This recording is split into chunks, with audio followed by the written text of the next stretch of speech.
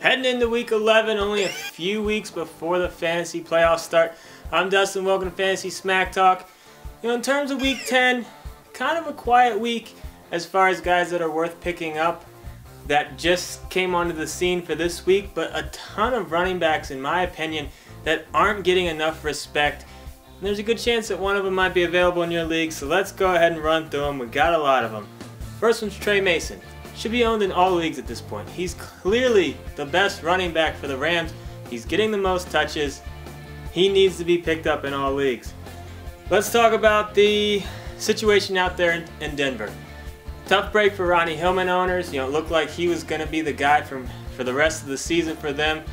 His injury is going to open the door back up for Ball to potentially take the starting job back over, but CJ Anderson is going to be in the mix as well. So if Ball is available, he's the one you're picking up. But CJ Anderson, in terms of a guy that you can add that could potentially have huge value for you, you need to pick him up. He needs to be owned in pretty much all leagues, in my opinion, just until we see how this one shakes out. You know, Ball wasn't that great when he was starting early in the year, but this could be a great opportunity for Ball uh, to take that starting job back.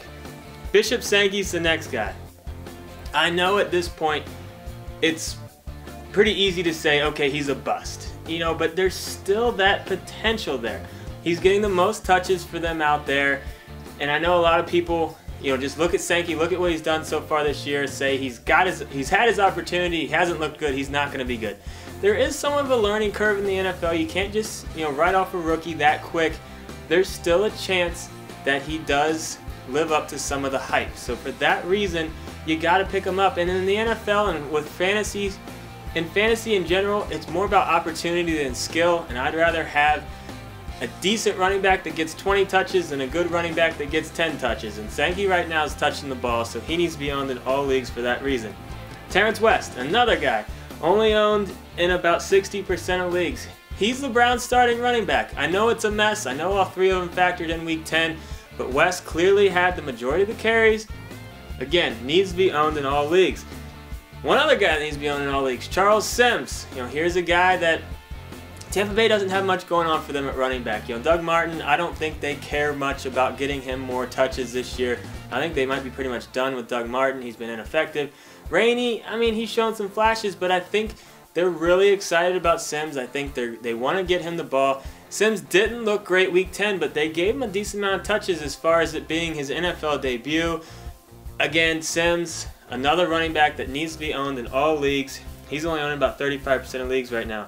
A couple guys in deeper leagues for running back. Alfred Blue. You know, I know Arian Foster is very optimistic about playing Week 11. I'm not as optimistic. Blue could be a great short-term solution for you. All Foster owners need to go back to the wire and try to pick this guy up because he was dropped in a lot of leagues after Foster got healthy. And this one kind of surprises me.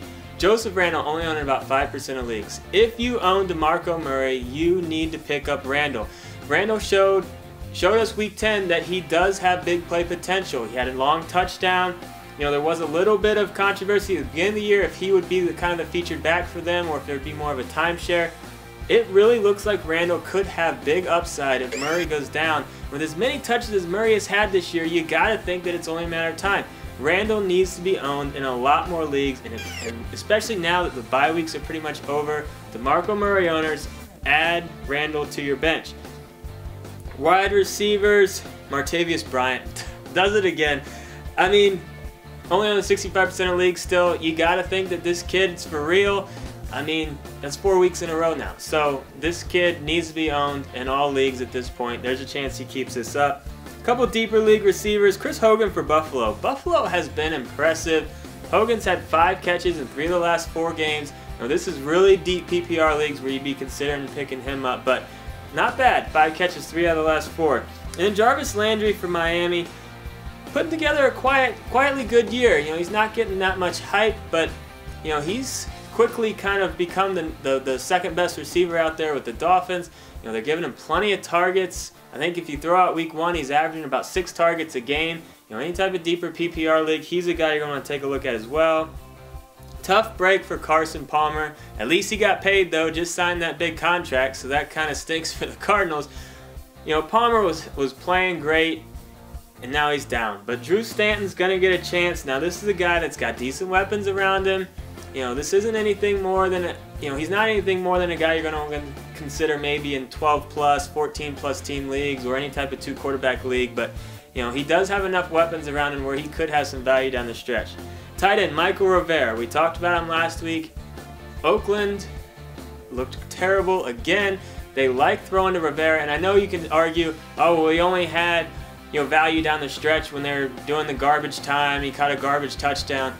Well, Oakland is terrible. They're going to be in garbage time every single week, it seems. So you got to like Rivera in the second half of games to get some touches when the defense is playing back, get some receptions. I like Rivera for the rest of the year. My pick up and play defense is going to be San Diego, only going up against only own about 15% of leagues, and they're going up against Oakland, who we just talked about. They're pretty terrible at football. This is just a portion list. If you want to see the full one, get on the website, get in the forums if you got any questions.